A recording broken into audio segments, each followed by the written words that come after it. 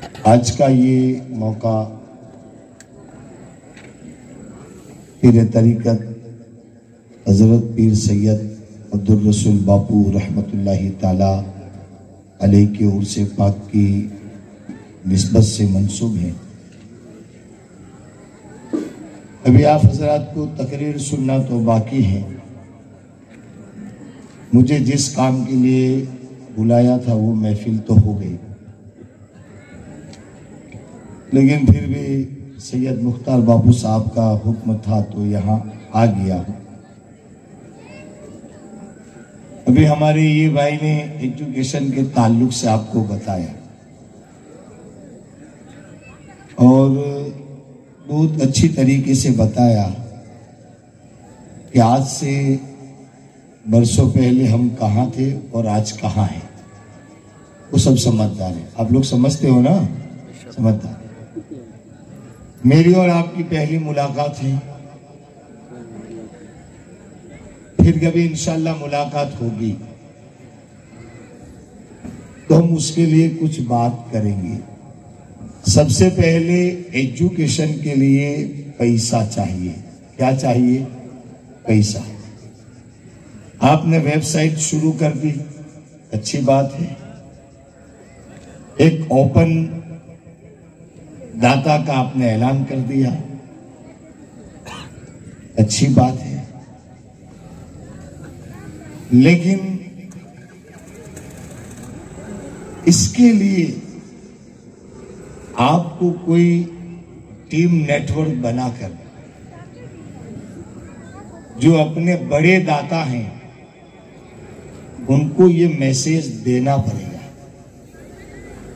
कि अगर अल्लाह ने आपको दिया है तो वो पैसा सौ रुपया हो, सौ रुपया। बोलो भाई, कितने? बोलो। सौ रुपया। सौ रुपया में दो रुपया पचास पैसा। वो गरीब का है और सत्तानवे रुपया पचास पैसा आपका है।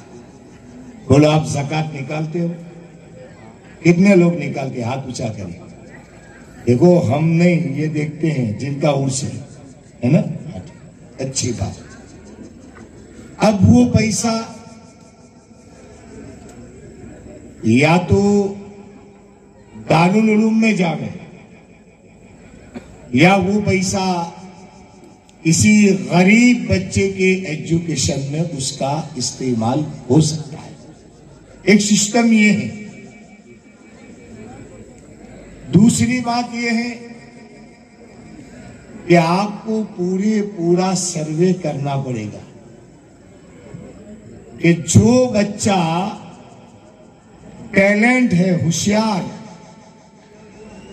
और वही बच्चा अगर एजुकेशन से पीछे पाँव हटा रहा है तो समाज के आगे वालों की ज़िम्मेदारी बनती है कि उसके माँ बाप से मिले, उस बच्चे से मिले और मालदार लोगों से मिले। इन दोनों को मिला करके बच्चे को आगे बढ़ाने की कोशिश करें। ये आसान रास्ता है। अब मैं अभी बोल के चला जाऊँगा। और भी लोग आकर चले जाएँगे। फिर कल जैसे थे वैसे हो जाएँगे। अब मेरी बात समझी प्रैक्टिकल बनने की ज़रूरत है। इसलिए कि आज हमारे पास बहुत सारा रुपया है। नहीं है, ऐसी बात नहीं है। लेकिन उस पैसे को जहाँ यूज़ करना है, उस जगह से हट करके हम उसे इस्तेमाल करते हैं। शादी का मौका आया, जैसे साहब ने बताया। तो शादी, निकाह तो आसान है, हमारे ओलमाई किराम से पूछिए तीन हज़ार रुपया मेहर के दे दो। एक इमाम साहब को बुला लो। दो गवाह रख लीजिए, एक वकील रख लीजिए। बच्ची से इजाज़त दीजिए। दूल्हा मियाँ बोले कबूल शादी हो गई। बोलो, है क्या नहीं? बोलो तो सही। अरे, है ना? है। लेकिन नहीं। मेरा बच्चा है, ऐसी शादी करूँगा कि पूरा ढेबर में चर्चा हो। क्या होगा? बैंड बाजा बजाएँगे। हाँ है ना? डांडिया रास खेलेंगे। खेलेंगे? इसमें पानी पूरी खिलाएँगे। खिलाएँगे ना? पाव भाजी क्या बोलो बोलो। यही है। गरीब कोई नहीं है, गरीब खुद हाथों से बन रहा है वरना यही पैसा, अगर पाँच लाख का खर्च होता है, उसी पैसे को बचा करके दो लाख का खर्च करे और तीन लाख एक हमारे समाज के प्रोफेसर बनने वाले बच्चे को दे दे। तो वो बच्चा अगर प्रोफेसर बन गया तो समाज भी आगे बढ़ेगा और देश भी आगे बढ़ेगा।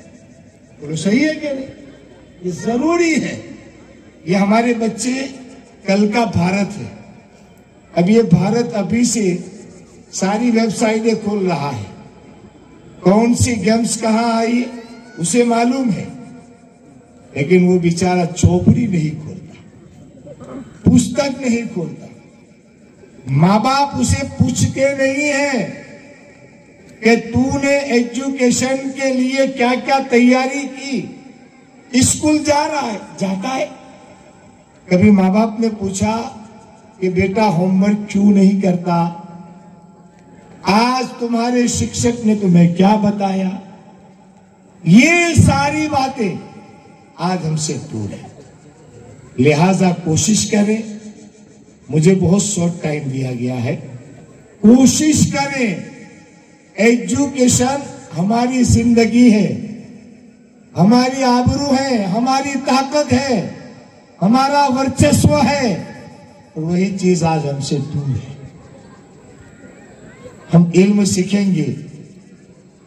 पहले जो साहबा के दौर में, नबी के दौर में, जो भी कैदी होता था तो उस वक्त अल्लाह के रसूल वसल्लम उन कैदियों की रिहाई का जो बंदोबस्त करते थे, वो ये करते थे कि तू किसी सहाबा को ये इल्म सिखा दे। जब वो इल्म सीख लेगा तो तू आज़ाद हो जाएगा। तो सहाबा के पास कुरान का इल्म तो था, हदीस मुस्तफ़ा का इल्म तो था तो फिर कौन सा इल्म? तो यूनान से आया है, टेक्निक की दुनिया से आया है वो इस सहाबी को सिखा दी मिसाइल कैसे बनाना, ये टोप कैसे बनाना टोप आई नहीं। अब पूरी भी हो गई। लेकिन हमारे साहबा ने उसकी पहले खोज कर दी। ये विमान उड़ रहा है, हमारे साहबा ने पहले खोज कर दी। कैसे किया?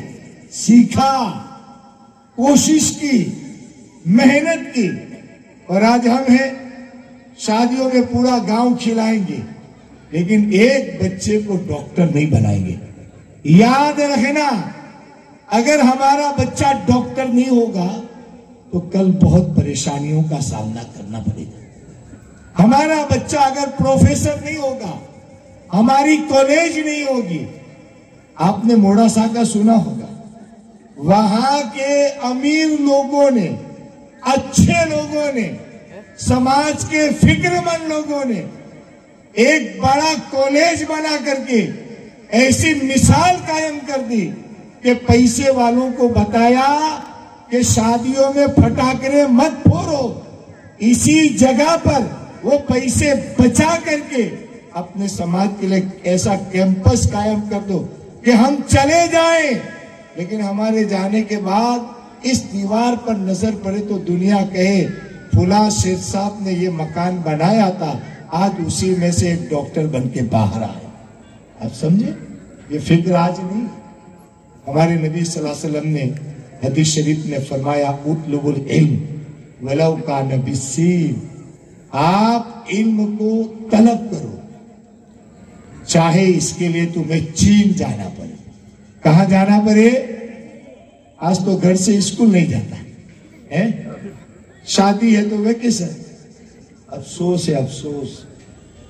बहुत अफसोस है।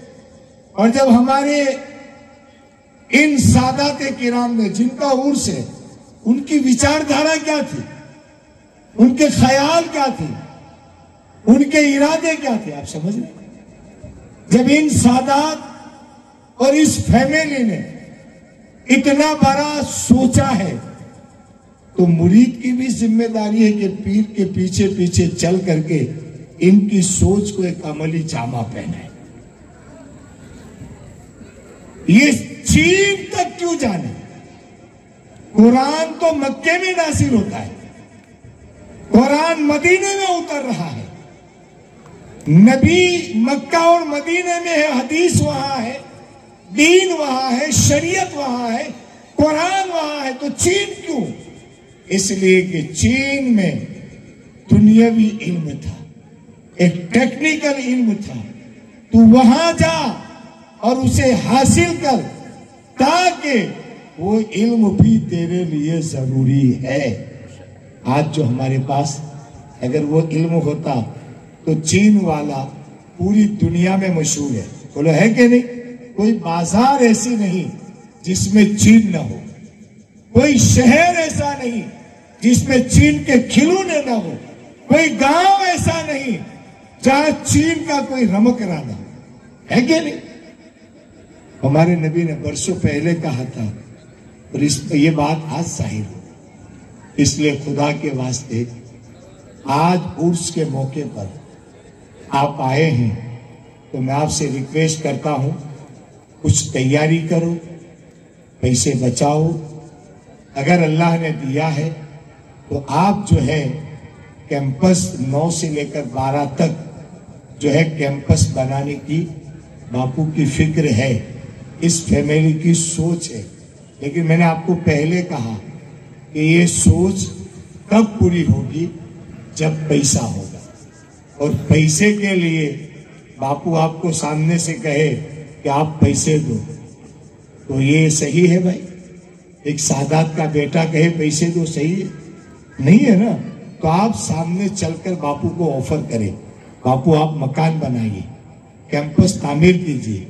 हम आपको दस हज़ार देंगे, बीस हज़ार देंगे, पचास हज़ार देंगे, अपने मरहूमों के नाम से देंगे, ताकि सब मिल जाए तो एक कैंपस बन जाए, और इनशाला ये कैंपस बनेगा तो आप तो चले जाएँगे।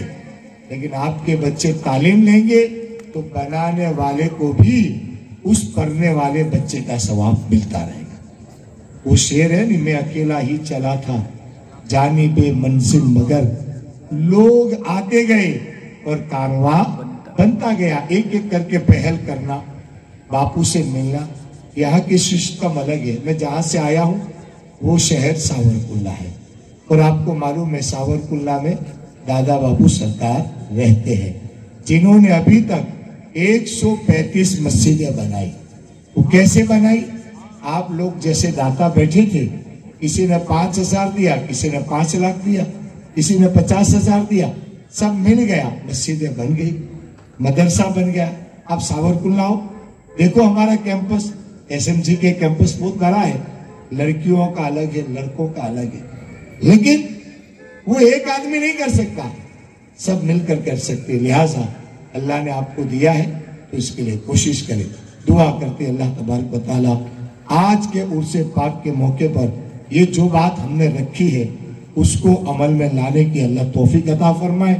और कल से ही इस काम के लिए आप शुरुआत कर दीजिए, टीम नेटवर्क के ज़रिए, या अगर कोई अच्छा इंसान समझाने वाला हो, मेरी नज़र में आलिम से बेहतर कोई समझा नहीं सकता।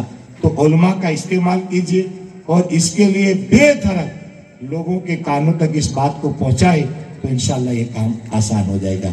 असलकम वालेकुम वरहमतुल्लाहि